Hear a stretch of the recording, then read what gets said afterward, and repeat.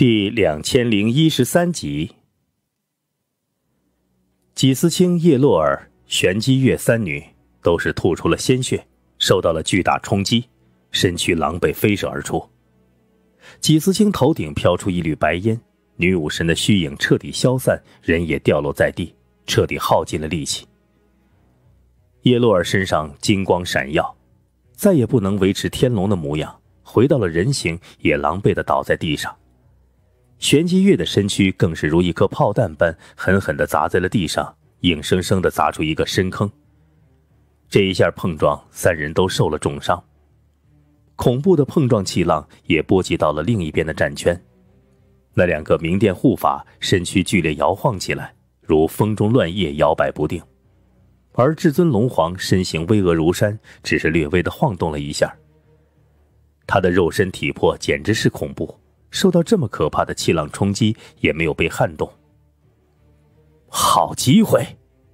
至尊龙皇眼眸一凝，双拳狠狠砸出。不好！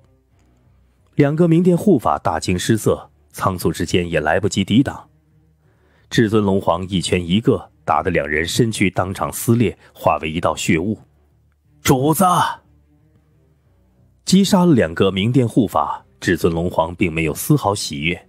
反而是一脸担忧，望向受伤倒地的叶落儿，慌忙过去救援。别管我，快杀了他！叶落儿指着玄机月大喊一声。此番决战，他和纪思清都受了严重的伤势，但玄机月同样被重伤了。现在他正是虚弱，是斩杀他的大好时机。至尊龙皇眼睛一亮，低头一看，看着地面上的玄机月，脸上顿时浮现出了杀机。是主子。至尊龙皇没有丝毫犹豫，立刻紧握拳头，凌空暴落而下，一拳狠狠朝着玄机月砸去。你敢！玄机月见状，冷喝一声，狂傲的女皇帝威狠狠的弥漫而出，犹如一面铁壁挡住了至尊龙皇。至尊龙皇心神顿时摇晃，这女皇帝威威压非常巨大，如泰山大岳，竟让他喘不过气来。别害怕，直接杀了他。叶落儿冷冷道：“是。”至尊龙皇目光陡然一凝，身上散发出狂暴的龙威，强行顶着玄机月的威压，狠狠一拳暴砸而出。哼，这次你死定了。季思清微笑起来，眼前的一幕他非常熟悉。上一次他和玄机月大战，两人也是重伤，他叫曲学勇出手解决玄机月的性命。但可惜，曲学勇被女皇帝威震慑，竟是不敢动手。那曲学勇堂堂曲家的家主，在神国之中也有着不俗的地位。但即便是他，面对玄机月的地威碾压，都不敢出手。可想而知，这地威有多么的强烈，多么的霸道。但这一次，玄机月要面对的可不是曲学勇，而是至尊龙皇。别人害怕女皇帝威。但至尊龙皇堂堂无上龙族却是凛然不惧，顶着压力，至尊龙皇无匹的一拳就要砸爆玄机月的脑袋。但陡然，玄机月娇躯一闪，如九天凤凰，斜斜飞到了天上，躲开了至尊龙皇的一拳。什么？看到这一幕，叶落儿和纪思清都震惊了，至尊龙皇也是大惊。按理说，玄机月身上负伤，应该动弹不得。但现在居然躲过了，甚至他身上的气息还在疯狂的恢复，伤势也疯狂痊愈着，整个人散发出夺目的神光。哼，一头上古余孽，凭你也想杀我？玄机月冷哼一声，纤手挥出一道天威掌势，如天谴雷罚般笼罩而下，砰的一声，一掌将至尊龙皇击退。至尊龙皇当场吐血，目光满是震撼。玄机月满脸冷笑，身后的轮回星石正爆发着璀璨的芒气，阵阵雄浑的星石能量不断治疗着他的伤势，恢复他的气息。如果单纯是一块轮回星石，不可能有这么好的效用。但问题是，玄机月体内有轮回星焰，和这颗轮回星石完美契合。在轮回星石气息的侵染下。他的轮回星焰也是疯狂散发出温润的能量，不断滋养他的筋骨。幸好我借了轮回星石出来，否则我今天必死。玄机月暗暗庆幸，星焰和星石两者相得益彰，他有轮回星石在手，简直是如虎添翼。就算伤势再严重，只要还剩下一口气，他都能迅速恢复。完了！叶洛儿看到这一幕，顿时惊悚了，而纪思清也紧紧咬着嘴唇，想不到那轮回星石居然会给玄机月带来这么大的增益。今日之战，是我赢了。玄机月悬浮在天空，如日月辉煌，高傲的声音带着滔天的喜悦。许尘烟。跪下磕头，向我认错，我或许能饶你一命。玄机月眼眸直视着纪思清，居高临下，满是战胜者的姿态。玄剑人，要杀便杀，我纪思清何惧？纪思清眼神凌厉，却是没有丝毫屈服，心里暗暗咬牙道：“叶辰，快跑啊！”他自己的生死并不放在心上，只担心叶晨的安危。现在叶晨已经度过雷劫，突飞猛进。只要给他足够的时间，他迟早能杀到上界去。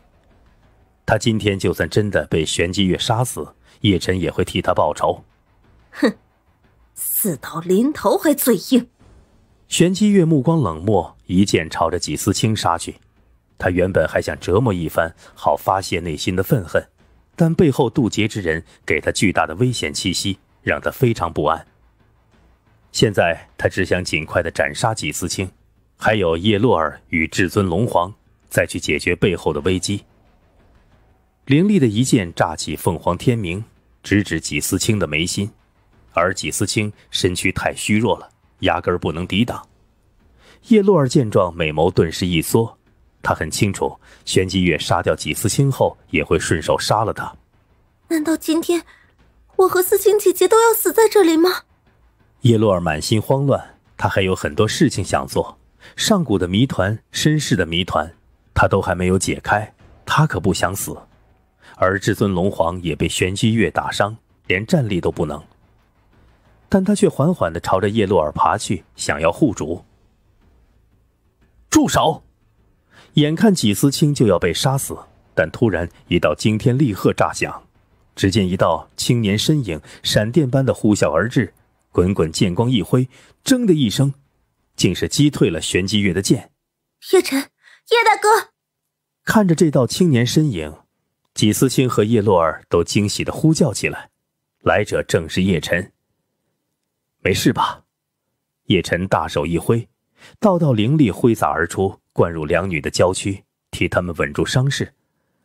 刚刚他听到战斗的碰撞声，就迅速赶了过来。正好从玄机月的手中救下了纪思清。叶晨，你，你突破了。纪思清感受着叶晨的气息，满脸欣喜。此刻的叶晨身上带着无比雄厚的混沌气息，明显已经踏入了混沌境，实力变强了许多。叶晨轻轻点头，虽然他的修为只是混沌境，但实际上的战斗力却是丝毫不弱于天神境四层天的玄机月。一步突破，他的实力简直是突飞猛进、逆天般的飙升，比以前不知道强悍了多少。你，你是？玄机月的脚步连连后退，望着叶晨的相貌身躯，脑袋里惊雷炸裂。太熟悉了，甚至叶晨的外貌仿佛把他拉到了上古。轮回之主，你是轮回之主？怎么可能？玄机月大叫。娇躯剧烈的颤抖着，叶晨的容貌气息和轮回之主一模一样。玄机月只看了一眼，就认出他是轮回之主的传承者，不会有错。他完全没有想到，原来背后渡劫之人居然就是叶晨。难怪，难怪，难怪曲晨烟这贱人要这么拼命保护你。我早该猜到，背后的渡劫者就是你。玄机月的目光不断的闪烁着，心里的危机感觉越来越浓烈。潜意识，他斩杀了叶晨，两人之间有着滔天的因果，毫无疑问，这一世叶晨肯定要杀到上界去复仇雪恨。所以，当叶晨渡劫，即将要突破，他才会感受到这么浓烈的危险。一旦被叶晨突破成了气候，他随时都有覆灭的危险。而现在叶晨突破成功，区区混沌境就拥有了撼动天神的实力。他这道秽土分身顿时处于巨大的危险之中。你就是上界的女皇？叶晨目光一缩，凝视着玄机月的脸庞。他自然知道，眼前这女人是玄机月的一道秽土分身。看着玄机月的脸，叶晨心里翻腾起非常复杂的恨意：被背叛的愤怒，被斩杀的不甘，前世的种种情绪在他的脑海里剧烈交织着。潜意识，玄机月是他的未婚妻，虽然不知道为何会如此，但现在叶晨心里拥有的只是滔天的愤怒。如果他再来晚点恐怕纪思清已经遭到玄机月的毒手。潜意识的恩怨，今天该你偿还了。叶晨目光怒火燃烧，紧握煞剑，带着灭天气息的恐怖剑芒狠狠朝着玄机月斩去。他很清楚，想让玄机月真正偿还罪孽，他必须杀到上界去。今天他只是想要讨一点利息。